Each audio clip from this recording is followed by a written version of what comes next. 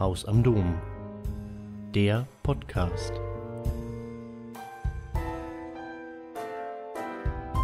Egal, wo wir heute religiös stehen, Bilder der Gottesmutter gehören fest zu unserem kulturellen Erbe. Und auch wenn Maria für alle Christinnen von Bedeutung ist, so finden wir innerhalb der Konfession große Unterschiede, unterschiedliche Perspektiven auf die Mutter Jesu.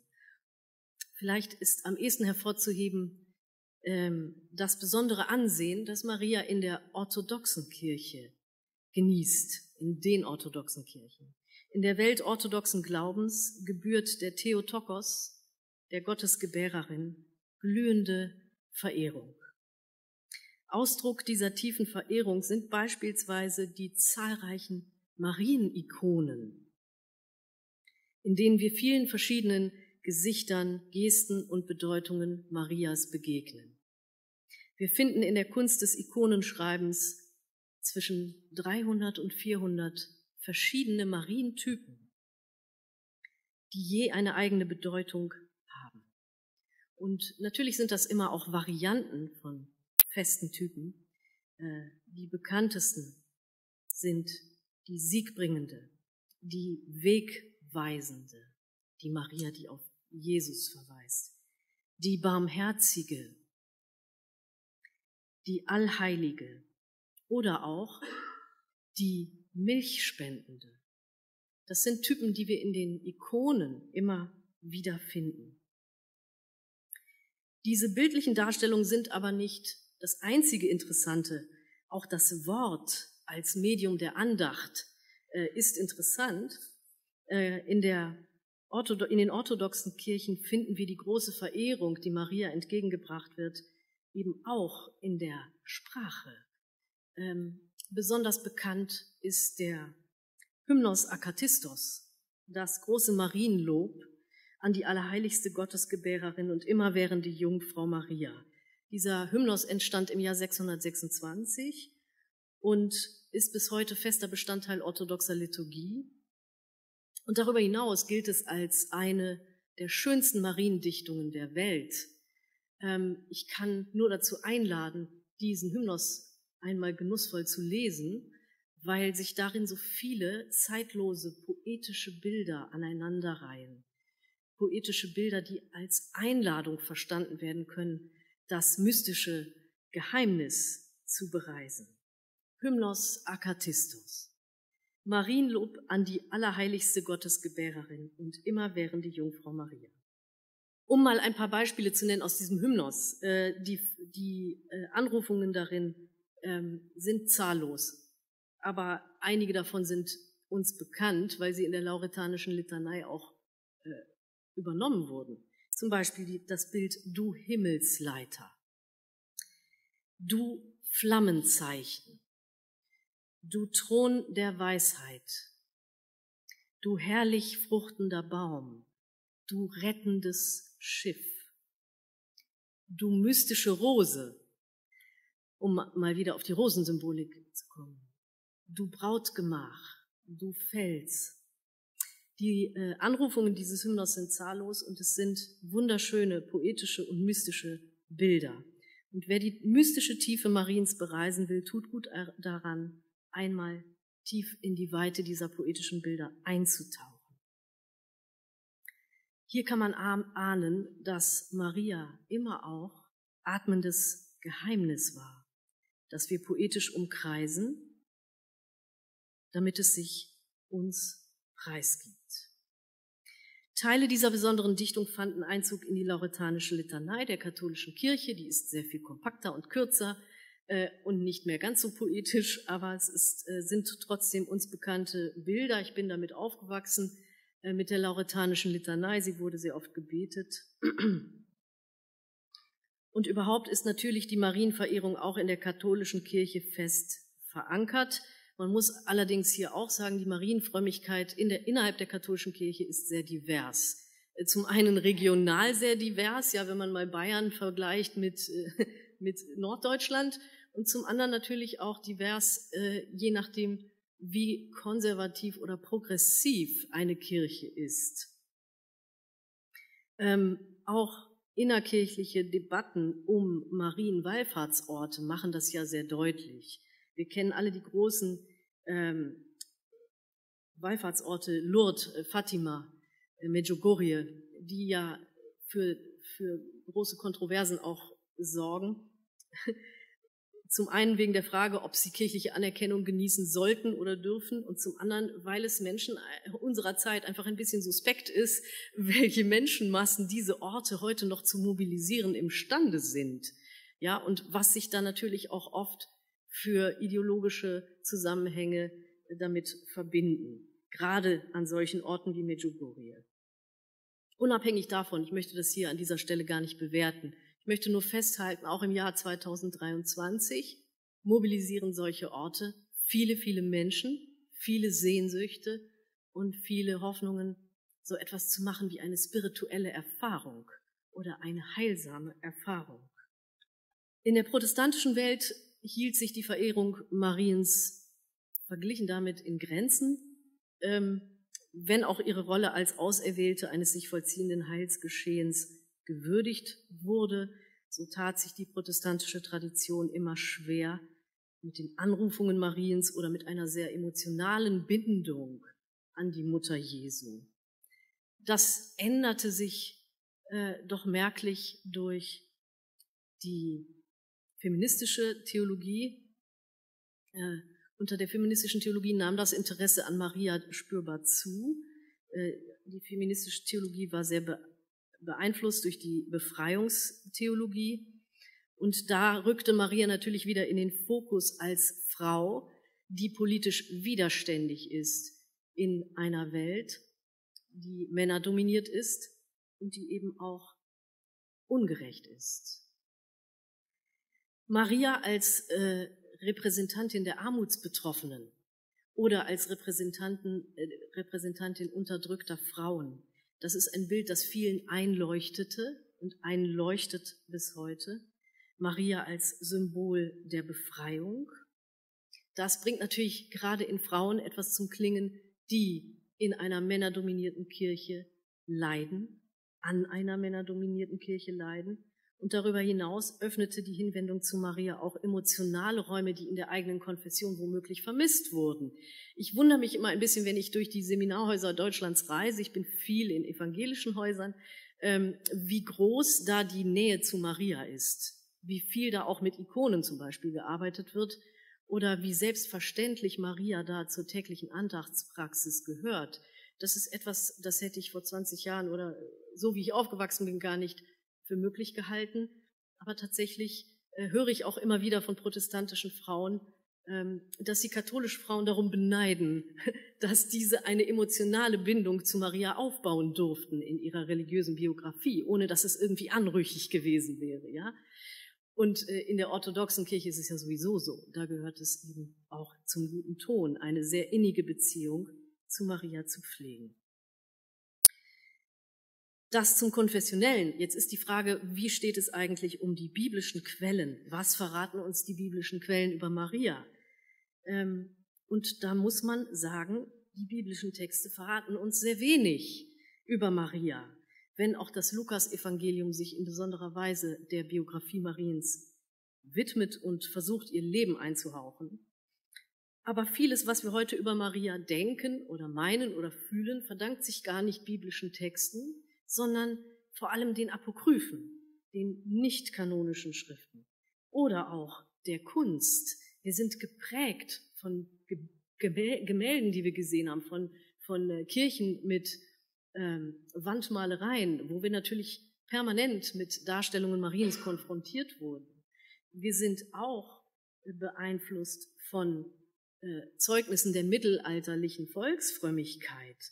Die hatte ja ganz eigene literarische Gattungen, sowas wie Visionsliteratur oder Marienmirakel. Marienmirakel, das waren Legenden äh, über Maria und ihre Wundertätigkeit.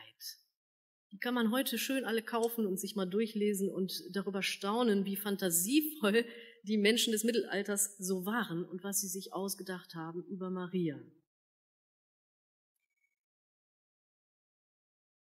Mir ist es wichtig, dass wir auf diese manchmal Auswüchse von Marienfrömmigkeit nicht bloß herabschauen, wie wir es oft geneigt sind zu tun. Wir sind aufgeklärt, wir sind feministisch, wir sind dies, das, jenes und wir neigen dazu, diesen Ausdruck von Frömmigkeit erstmal für sehr überholt zu halten.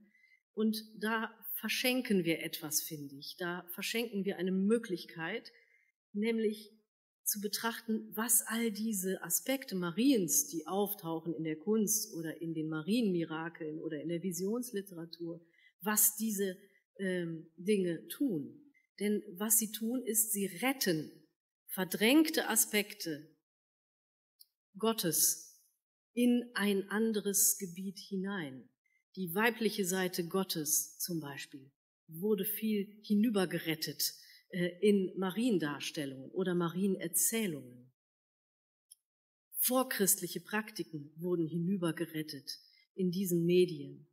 Es ist interessant zu beobachten, dass gerade da, wo die äh, kirchliche Lehre eine Tür schloss, äh, ganz oft in der Volksfrömmigkeit dann eine andere Tür geöffnet wurde, dass ein Aspekt Gottes hinübergerettet wurde in Maria hinein.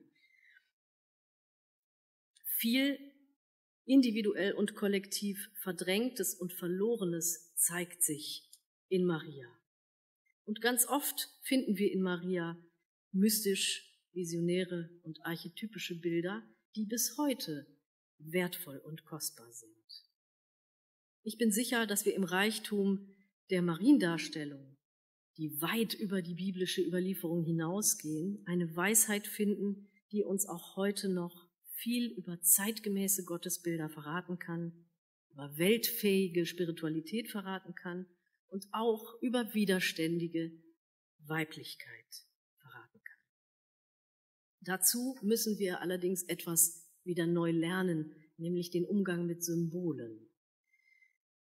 Es ist kein Geheimnis, dass Maria im Jahr 2023 vielen Menschen fremd ist, ähm, dass sie in säkularisierten Gesellschaften vielleicht gerade noch so als Mutter Jesu identifizierbar ist. Ähm, aber innerkirch, selbst innerkirchlich ist die Vielfalt der Mariendarstellungen auf ein sehr überschaubares Maß zusammengeschrumpft und ähm, regelmäßige Begegnungen mit, mit den Marientypen, die wir eben zum Beispiel hier erwähnt haben, hat man ja nur noch aufgrund des Interieurs einer Kirche. Ja, man macht keine Bildmeditation oder Andachtspraxis mehr mit der Maria Immaculata oder der Maria auf dem Löwen oder der Madonna im Ehrenkleid, sondern man betrachtet sie eben im Vorübergehen als Teil des Interieurs. Das heißt, sie sind, diese Bilder sind kein fester Bestandteil spiritueller Praxis mehr. Es gehört heute nicht mehr zum Repertoire christlicher Glaubenspraxis, sich mit den tiefen Dimensionen alter Marienbildnisse zu beschäftigen. Und das ist schade, denn es gäbe viel zu entdecken. Denn in den faszinierenden Marientypen vom Mittelalter bis in die frühe Neuzeit ist alles von Bedeutung, was in diesen Bildern festgehalten wird. Die Gestalt Mariens, ihre Gestik, ihre Mimik, ihre Kleidung, ihre Tätigkeit, ihre Attribute, die Räume, in denen sie sich bewegt. Ich glaube, dass wir das neu lernen müssen, uns symbolische Bildwelten zu erschließen und dass wir es üben müssen, Symbolsprache zu sprechen. Und das möchte ich einmal mit Erich Fromm sagen, der mal aussprach, ich halte die Symbolsprache für die einzige Fremdsprache, die jeder von uns lernen sollte. Wenn wir sie verstehen, kommen wir mit dem Mythos in Berührung, der eine der bedeutsamsten Quellen der Weisheit ist. Tatsächlich verhilft uns die Symbolsprache zum Verständnis einer Erfahrungsebene, die deshalb spezifisch menschlich ist, weil sie nach Inhalt und Stil der ganzen Menschheit gemeinsam ist. Ich möchte das hier mal verbinden. Ich habe Ihnen gesagt, die mystische äh, Erfahrungsebene, die mystische Dimension Mariens ist für mich interessant. Und wie Erich Fromm hier das so elegant umschreibt, wie man über die Symbolsprache zur Erfahrungsebene kommt, das ist genau das, was ich meine. Die Mystik beschäftigt sich ja permanent mit der Frage, wie erfahre ich das Göttliche? Ja, wo beginnt die Erfahrungsebene dessen, was ich vielleicht glaube oder auch nicht glaube? Die Symbolsprache neu zu lernen ist wichtig. ich glaube deswegen auch, dass äh, die Praxis der Bildmeditation, die uns leider auch verloren gegangen ist, eine sehr wichtige Praxis ist und eine sehr zeitgemäße Praxis ist. Sie gehört nicht allein in einen klösterlichen Kontext, sondern sie gehört im Grunde in unseren Alltag. Bilder sprechen mit uns auf ganz eigene Weise. Sie berühren etwas in uns, das jenseits des Verstehens liegt. Und sie berühren etwas in uns, das eine tiefe, erfahrbare Wirklichkeit ist. Und das werden wir heute auch im Laufe des Tages ein bisschen miteinander üben. Die Marientypen sind natürlich nicht nur eine Frage des Bildes. Wie Maria sich über die Jahrhunderte verändert hat, das erkennt man auch an der Marienrede. Wie hat denn Maria über die Jahrhunderte gesprochen? Ähm, schauen wir uns mal die biblische Marienrede an. Biblisch sind ja nur wenige Worte Mariens überliefert, wenn auch sehr kraftvolle Worte. Wir werden heute auch noch mal über das Magnifikat sprechen als ein äh, Gebet und einen Lobgesang Mariens, der natürlich eine unheimliche revolutionäre Kraft entfaltet. Ansonsten ist das, was Maria sich äh, so von sich gibt, biblischerseits recht dünn. Wir kennen natürlich den Satz, ähm, was er euch sagt, das tut. Ja, das ist wieder so ein Mariensatz, wo sie die Wegweisende ist. Sie verweist wieder auf Jesus. Sie verweist, sie weist von sich weg auf Jesus. Im Magnificat spricht Maria für sich, aber auch für alle, die sich eine gerechtere Welt wünschen, die sich eine andere Weltordnung wünschen. Wenn Maria betet, meine Seele preist die Größe des Herrn und mein Geist jubelt über Gott, meinen Retter, dann skizziert sie eine Welt, die befreit ist von männlichen Machtfantasien von struktureller Ungerechtigkeit und womöglich auch von sowas wie egoischer Verstrickung. Und damit steht sie nicht allein da, denn äh, viele Jahrhunderte vor ihr sprach die Prophetin Hannah einen ganz ähnlichen Lobgesang, in dem es heißt, mein Herz ist fröhlich im Herrn, mein Horn ist erhöht im Herrn, mein Mund hat sich weit aufgetan wider meine Feinde, denn ich freue mich deines Heils. Beide Gebete sind nicht nur deshalb revolutionär, weil sie mit der gängigen Machtverteilung brechen und die Herrschenden und die Reichen zur Verantwortung ziehen, sondern revolutionär sind sie vor allem deswegen, weil sie Frauen in den Mund gelegt werden, weil sich Frauen in diesem Gebet neu erfinden und ermächtigen, und zwar allen Konventionen und Gefahren zum Trotz. Biblische Marienrede ist aber darüber hinaus weder besonders wortreich noch komplex. Und da wird es interessant, wenn wir ins Mittelalter blicken, denn hier gewinnt die Marienrede ein ganz anderes Aroma und auch eine andere Autorität. Im Mittelalter wurden Maria viele Worte in den Mund gelegt von Dichter und Dichterinnen, von Visionären, von Frommen, von Mystikern und Mystikerinnen. Und was diese Sprechakte über die Sehnsüchte verraten, das kann man äh, über die Sehnsüchte der Menschen, die sich mit der Gottesmutter verbanden, das kann man einmal betrachten, wenn man den ganzen Kontext von Marienverehrung im Mittelalter beleuchtet. Das Mittelalter war eine Zeit der glühenden Marienverehrung. Gebetbücher für Laien wurden beliebt. Zunächst mal war es der Psalter, der es auch für Laien ermöglichte, außerhalb des Gottesdienstes Andachtsübungen mit Psalmen zu vollziehen. Und im 13. Jahrhundert wurde der Psalter vom Stundenbuch abgelöst. Die Stundenbücher enthielten Teile der Breviere, die man aus Klöstern kannte, äh, Psalmen, das Totenoffizium, aber vor allem enthielten sie ein Marienoffizium. Das war ein Stundengebet zur Ehre Mariens und das war sehr beliebt äh, bei den Menschen. Die Stundenbücher waren äh, vor allem oft bestückt mit kunstvollen Bildern. Die Stundenbücher, die so mit kunstvollen Bildern bestückt waren, die waren vor allem für die wohlhabenderen Menschen gedacht, die sich so etwas leisteten und dann auch damit durch die Stadt flanierten. Ähm, diese illuminierten kostbaren Stundenbücher sind dankenswerterweise äh, oft digitalisiert. Man kann sie im Internet abrufen, man kann sie sich anschauen in ihrer ganzen Pracht. ähm, das ist wirklich ein Schatz, wenn man sich damit mal beschäftigt. Denn in diesen Stundenbüchern finden wir eine Vielfalt von Mariendarstellungen, die wir natürlich so überhaupt nicht mehr kennen. Äh, und die weit über das hinausgehen, was wir mit Maria so verbinden. Schauen Sie mal auf die Collage. Immer begegnet uns Maria in den Stundenbüchern oben rechts als eine Art Exorzistin. Ja, sie holt die Dämonen raus aus einem, aus einem kranken oder sterbenden Menschen. Sie begegnet uns auch unten links als die Bezwingerin des Teufels. In den Stundenbüchern finden wir ganz häufig Darstellungen von Maria, die den Teufel verprügelt, verbannt, äh, niederringt, zurück in die Hölle schickt und dergleichen. Und dabei macht sie sich durchaus die Hände schmutzig. Und wir sehen sie in den Stundenbüchern eben auch oft unten rechts als Heilerin. Sie kann sogar abgetrennte Gliedmaßen wieder anfügen äh, durch Handauflegung. Das sind drei Typen, mit denen wir heute gar nicht mehr vertraut sind. Ja, Maria als Exorzistin, als Bezwingerin des Teufels, als äh, Heilerin. Oben links sehen Sie Maria, die dem Teufel ein blaues Auge haut und das ist Das ist ein sehr, eine sehr, sehr schöne und sehr verbreitete Darstellung im Mittelalter. Da geht es nämlich um die Theophilus-Legende. Die Theophilus-Legende ist ein Vorläufer des Fauststoffes.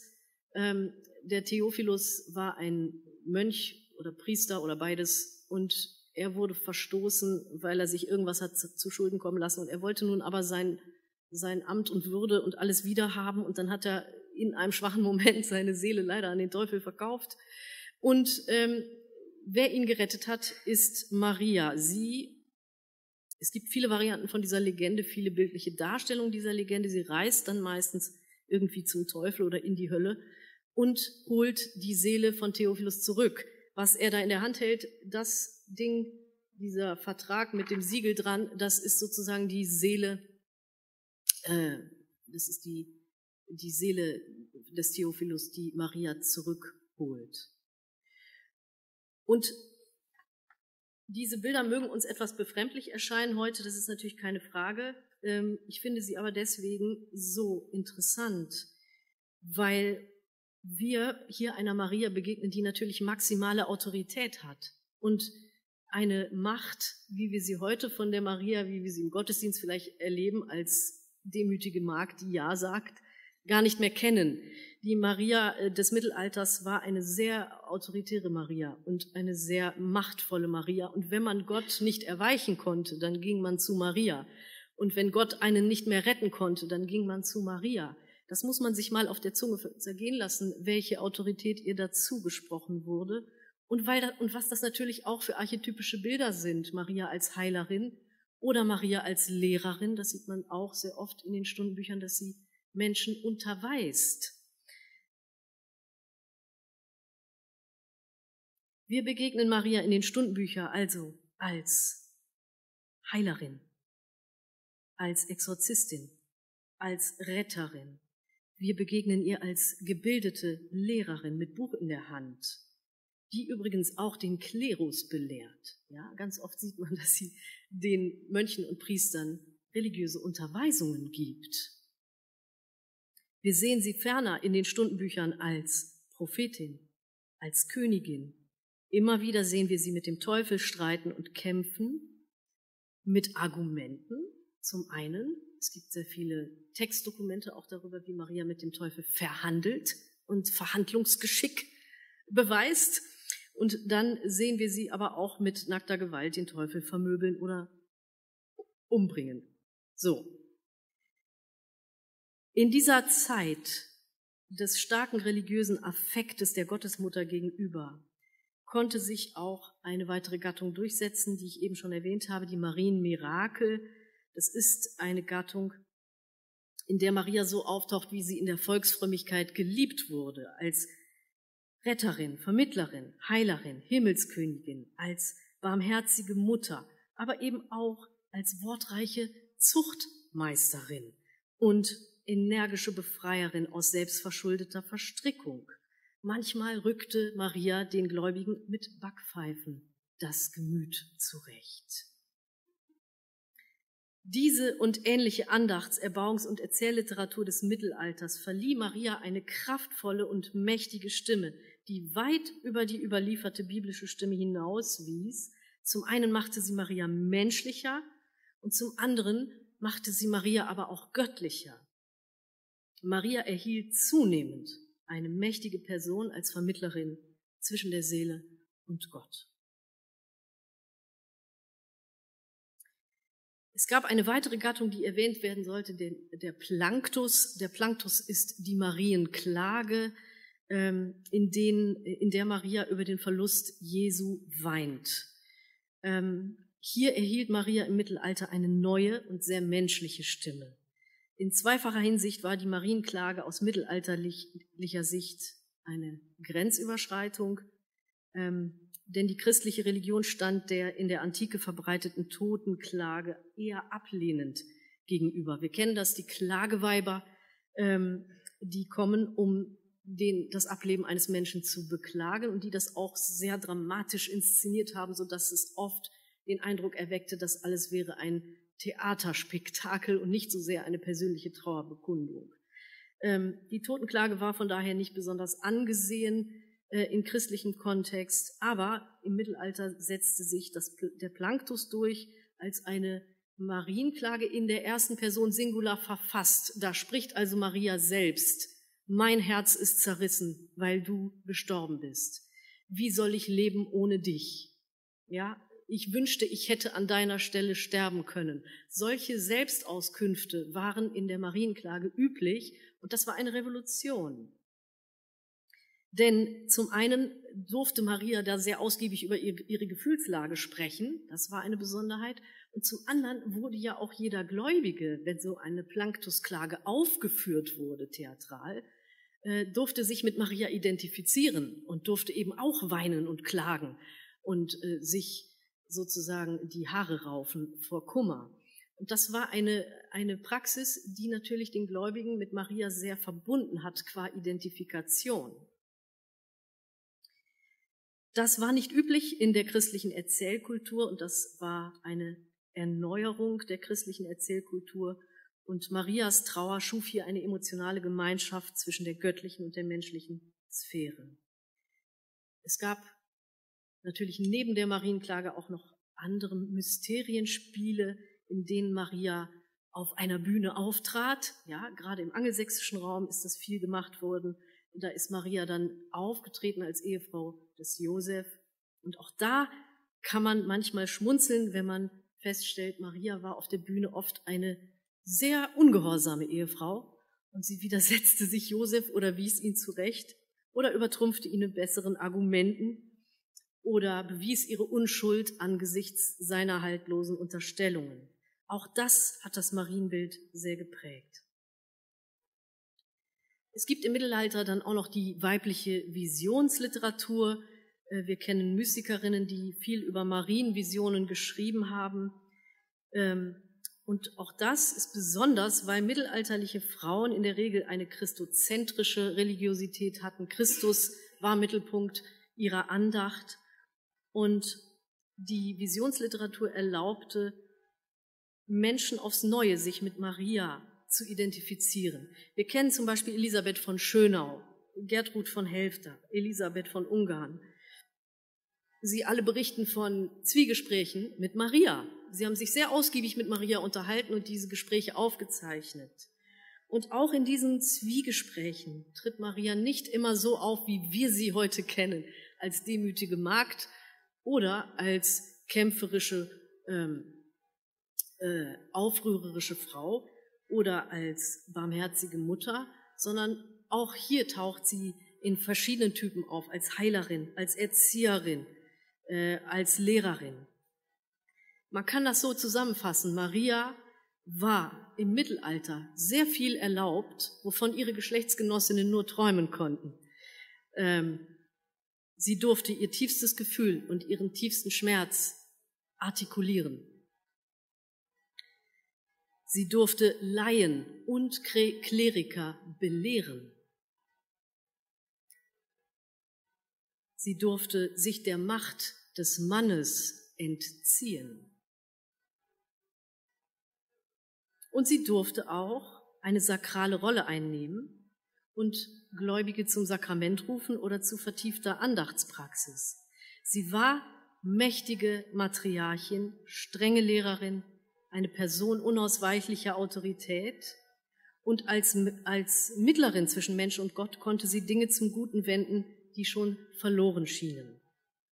Das heißt, Maria konnte sich Dinge erlauben, die den Zwängen ihres Geschlechts zuwiderliefen und sogar Dinge, die der Lehre der Kirche zuwiderliefen.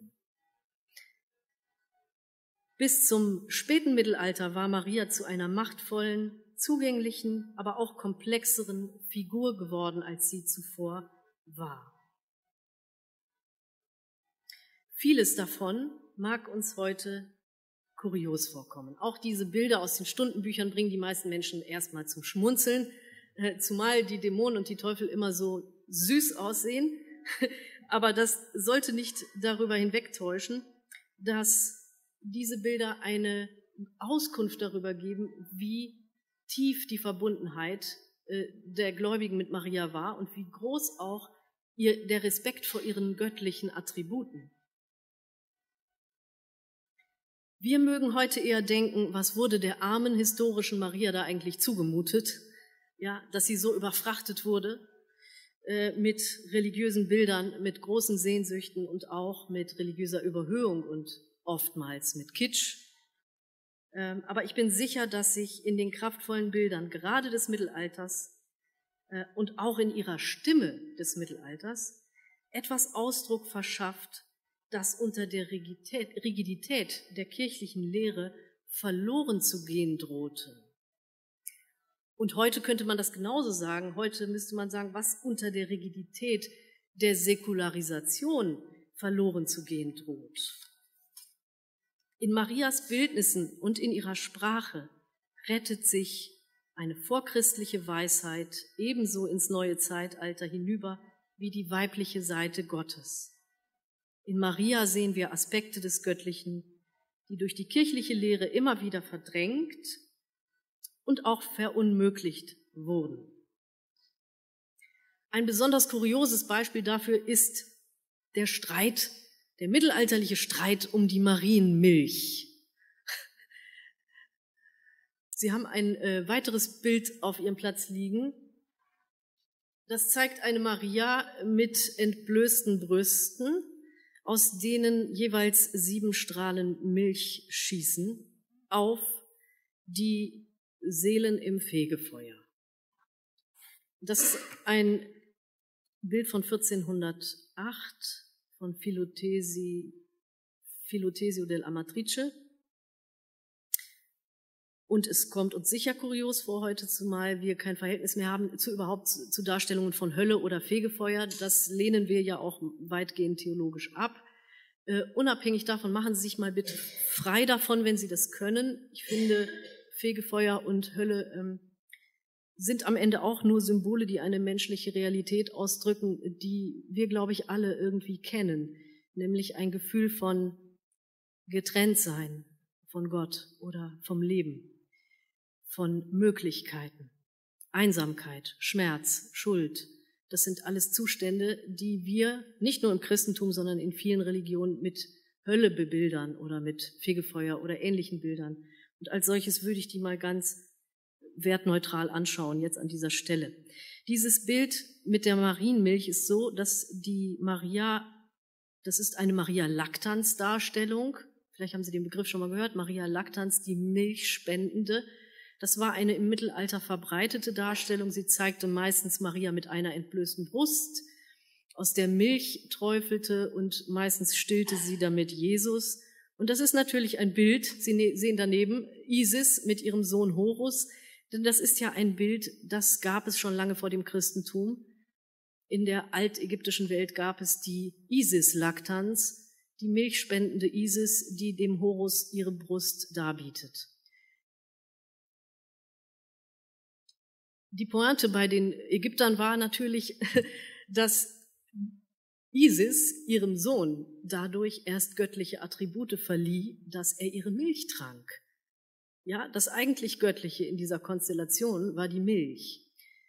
Die Kirche hat es immer betont, dass die Milch Mariens eine menschliche Milch ist und keine göttlichen Kräfte verleiht, ja, um sich davon mal gleich zu distanzieren. Äh, aber natürlich bewegt sich die Maria Lactans Darstellung in dieser Tradition und überhaupt in der Symbolik von Milch, die in allen Religionen sehr verbreitet ist. Jetzt gab es im Mittelalter eine Besonderheit, weil das Volk, um es mal so zu sagen, die Marienmilch glühend verehrte. Das Volk liebte Maria ja ohnehin und es liebte auch die Maria Lactans Darstellung, die Milchspendende. Und daraus entstanden dann solche Auswüchse wie zum Beispiel dieses Gemälde hier, wo Maria die Seelen im Fegefeuer tröstet und ihre Schmerzen lindert, dadurch, dass sie sie mit Milch beträufelt. Es gibt auch noch andere Darstellungen, die das sogar noch weiter treiben. Ja, zum Beispiel Gemälde vom jüngsten Gericht, wo die sündigen Menschen, die kurz davor sind, in die Hölle zu fahren, weil ihnen nicht mehr zu helfen ist, ja, wo denen nicht mal mehr der Strom des fließenden Blutes Jesu helfen kann. Also das Blut Jesu in seiner erlösenden Kraft reicht nicht aus und dann steht Maria neben ihm und hält ihre Brüste entweder zu Jesus oder zu den Verdammten, um das Erlösungswerk mit der Kraft ihrer Milch zu vollenden. Das heißt, wir kamen in der Volksfrömmigkeit irgendwann an diesen Punkt, wo theologisch äh, zur Debatte stand, ist denn die Milch Mariens am Ende genauso erlösend wie das Blut Christi? Und äh, das ist natürlich ein Gedanke, den die Kirche nicht so richtig gut fand und deswegen machte sie irgendwann diesem Treiben ein Ende. Äh, aber wir müssen das mal festhalten, dass die Verehrung der Marienmilch, dass die Verehrung der Marienmilch im Mittelalter aus der Volksfrömmigkeit erwuchs ähm, und dass diese Milch eine theologische Debatte angestoßen hat, die Verehrung dieser Milch eine theologische Debatte angestoßen hat, in der es natürlich um die Machtfrage ging. Wer hat die Erlösungsmacht? Was darin geschieht, ist ja klar. In dem Moment, in dem ich sage, dass die Milch Mariens zum Beispiel etwas vermag, was das Blut Christi nicht vermag, oder genauso viel vermag wie das Blut Christi, ist Maria vergöttlicht dann ist sie wenigstens so göttlich wie Isis, die ihrem Sohn göttliche Kräfte verleiht, dadurch, dass sie ihn stillt. Das heißt, die Frage, die sich immer wieder daran entzündete, war, ist denn Maria nun eine menschliche Person oder ist sie am Ende eine göttliche Person? Ist sie Miterlöserin oder nicht? Und so weiter. Die Vergöttlichung Mariens wurde dann von kirchlicher Seite beendet. Es gibt natürlich zahllose Marienbilder, die äh, viele Horizonte eröffnen, viele Fragen eröffnen und wir haben heute im Rahmen dieses Tages nicht die Zeit, uns so viele davon anzusehen, aber wir können uns zum Beispiel mal ein Bild gemeinsam anschauen. Die Maria mit dem Riss im Kleid. Die Schwangere, genau. Die Maria Gravida.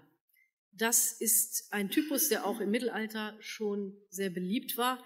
In der Regel wird die schwangere Maria aber anders dargestellt. Sie wird äh, dargestellt mit einer ja, sehr deutlichen Erhebung ihres schwangeren Bauches und dann hat sie meistens die Insignien, also dann hat sie hier JHS auf dem Kleid stehen, gestickt oder man sieht irgendwo ein kleines Jesuskind auf ihr drauf, so halb embryonal oder äh, ein Jesuskind, das sich irgendwo im Bildrand versteckt, so als Ankündigung, ich bin eigentlich die wichtige Person.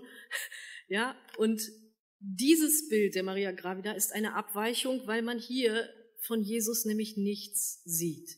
Weder sein JHS auf ihrem Gewand, noch lugt er irgendwo um die Ecke, noch ist irgendwo angedeutet, dass sie, dass sie mit ihm, also dass er die interessante Person in diesem Bild wäre. Insofern ist das ein besonderes Gemälde von Piero della Francesca. Sie hat einen großen Riss in ihrem Kleid, wo ihr Untergewand sichtbar wird, den bedeckt sie mit ihrer Hand.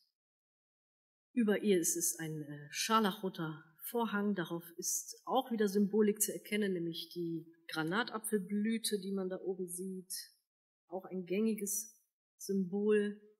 das oft im Zusammenhang mit Maria erscheint. Und ich würde gerne mit Ihnen mal, so wie man das vielleicht machen kann, wenn man sich neu der Symbolsprache äh, andient, wenn man die Symbolsprache neu üben möchte, mit Ihnen durch die, eine Betrachtung machen zu diesem Bild. Das Bild heißt die Maria von der Geburt. Zwei Engel ziehen einen schweren scharlachroten Vorhang auf. Sie enthüllen die Frau im himmelblauen Kleid. Aufrecht, würdevoll, bewusst. So ist die hochschwangere Maria scheinbar selbst die Mitte des Zeltes. Ihre Haltung drückt irdische Schwere aus und zugleich himmlische Hoheit. Sie ist ernst, in sich versunken. Mit der linken Hand stützt sie ihren Körper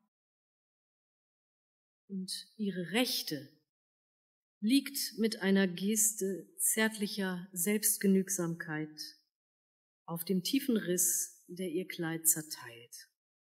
Was wir sehen, ist von unmittelbar ergreifender Kraft.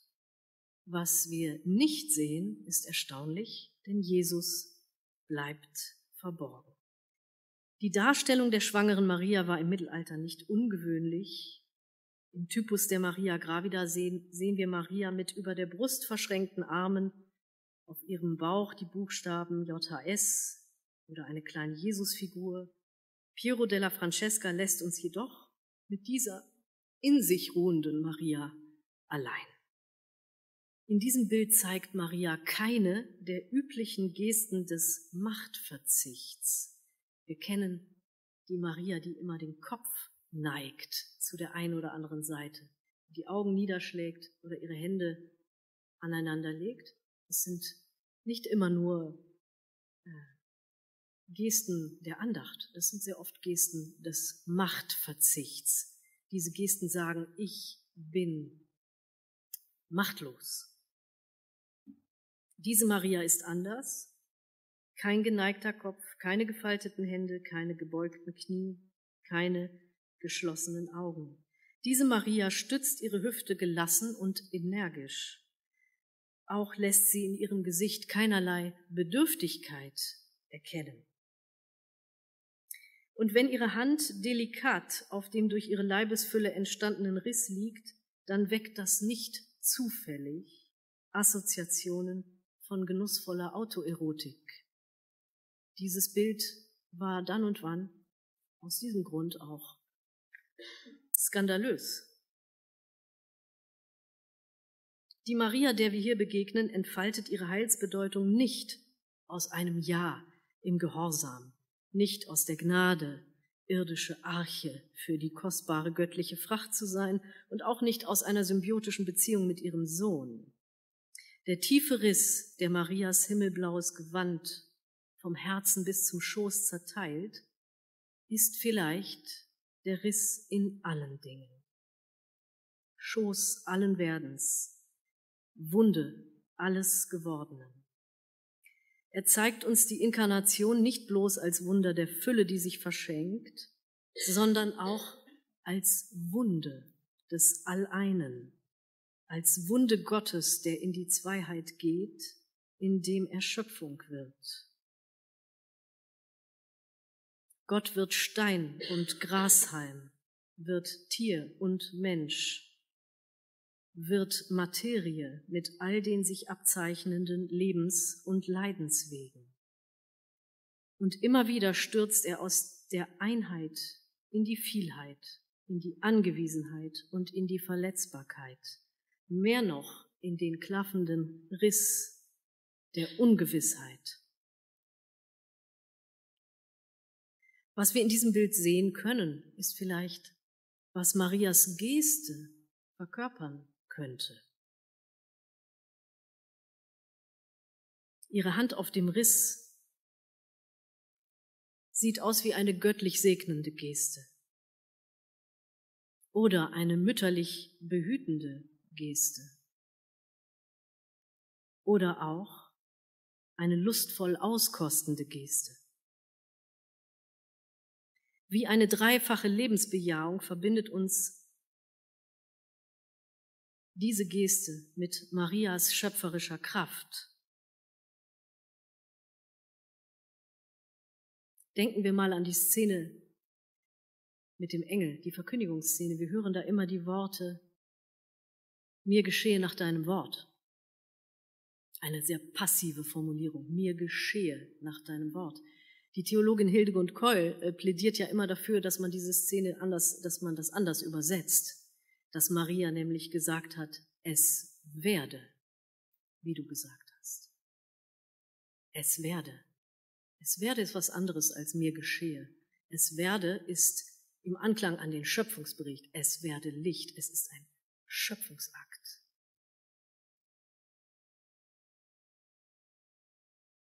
Piero della Francesca stellt Maria, die ein lebensspendendes Universum ist, in die Mitte eines Zeltes. Er erinnert damit an das Zelt in der Stiftshütte, das Mose errichten ließ, damit Gott unter den Menschen wohne. Der Vorhang verweist auf den Vorhang im Tempel, der das Allerheiligste mit der Bundeslade vor den Augen der Gläubigen verbarg und der nur einmal im Jahr von einem Hohepriester zum Versöhnungstag durchschritten werden durfte. Jener Vorhang, jene Grenze zwischen Gott und Mensch, so heißt es bei den Evangelisten, wurde im Moment des Todes Jesu von Gott selbst im Dunkel des Allerheiligsten zerrissen und diese Szene war im Übrigen Anlass für zahllose antijudaistische Deutungen bis heute. Ich plädiere für eine andere Deutung. Begreifen wir das Motiv des Risses nicht als exklusiv, sondern als exemplarisch. So scheint darin auf zeitlose Weise die Nahbarkeit und Nähe Gottes auf. Das Verborgene gibt sich zu erkennen als verletzbare Welt als das immerzu Anfängliche, was aus einer schmerzlichen Öffnung, einem Verlust, einer Überschreitung lebensspendend hervorströmt. Der Riss auf dem Kleid Mariens ähnelt einer Vulva, ebenso wie den Wunden, die das Christentum besonders verehrte, die Seitenwunde Jesu. Oder auch die Wunden im Herzen Mariens, das von sieben Schwertern geöffnet ist. Marias würdevolle Haltung, die den Riss wie eine Kostbarkeit trägt, gibt uns zu verstehen, alles Geburtliche nimmt hier seinen Anfang. Jeder Anfang ist ein Aufgebrochensein. Jede tiefe Verwundung ist auch Ort neuer Schöpfung. Vorausgesetzt, wir lernten vielleicht Maria ein wenig ähnlich zu werden und wie sie unsere Hand auf den Riss zu legen, nicht um ihn zu schließen, nicht um ihn zu verbergen, sondern um ihn zu bejahen, um ihn zu segnen, zu hüten und auszukosten und darüber zu staunen, wie ein selbstverschwenderischer Gott sich unter unseren Händen ereignet. Diese Bildbetrachtung möchte ich einmal als Beispiel verstanden wissen für etwas, was wir alle machen können, wenn wir uns die Zeit nehmen, uns wieder einmal mit einem Bild auseinanderzusetzen, es anzuschauen, es auf uns wirken zu lassen und uns zu befragen, was ist das Geschenk in diesem Bild und was ist die Frage in diesem Bild. Und es ist erstaunlich, wie aktuell auch sehr alte Bilder sein können, wenn wir uns erlauben, uns Zeit dafür zu nehmen, sie anzuschauen und uns in Zwiesprache damit zu begeben.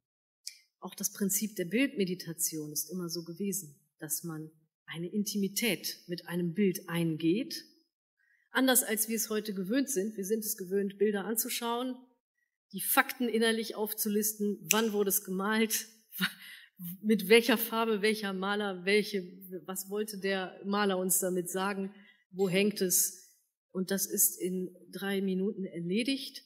Äh, aber auf dieser Informationsebene äh, sich nur aufzuhalten, ist nicht sehr fruchtbar. Ja, also wenn man sich in Symbolsprache üben möchte oder in Bildmeditation, dann muss man einen anderen Umgang lernen.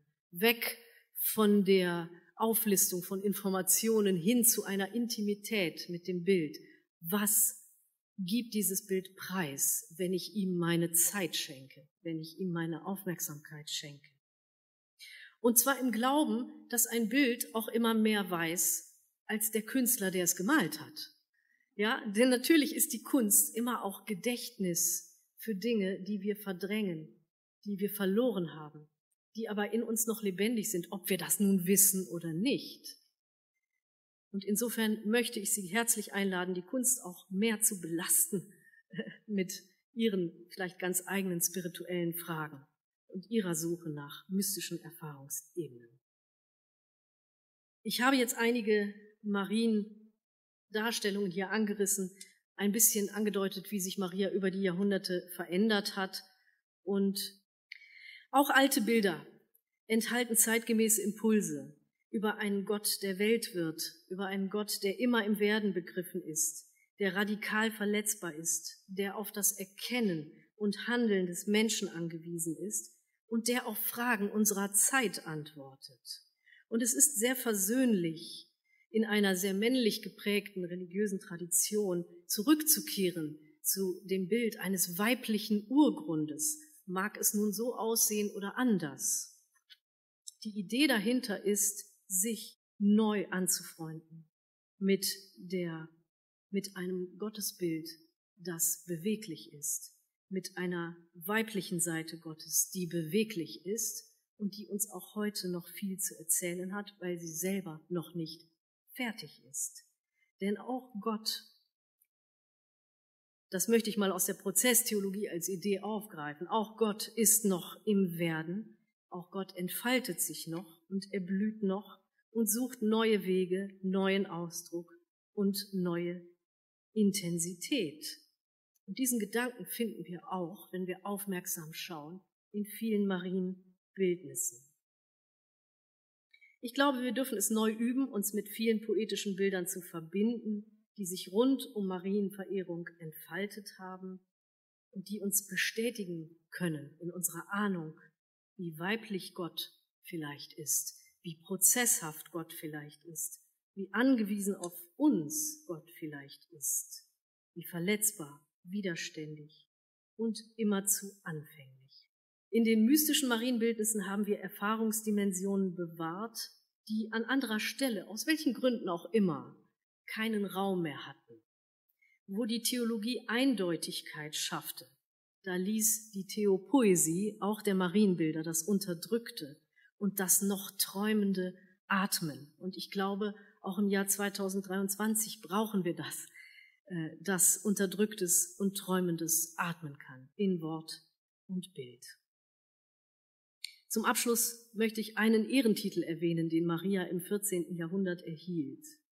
Und auch der mag uns kurios vorkommen. Im angelsächsischen Raum entstand durch den Autor John Merck ein Festjahr im 14. Jahrhundert. Und das ist eine Sammlung mittelenglischer Predigten. Wie viele Predigten in dieser Zeit enthält sie eine Passage, in der Maria selbst spricht, in der ihr Worte in den Mund gelegt werden.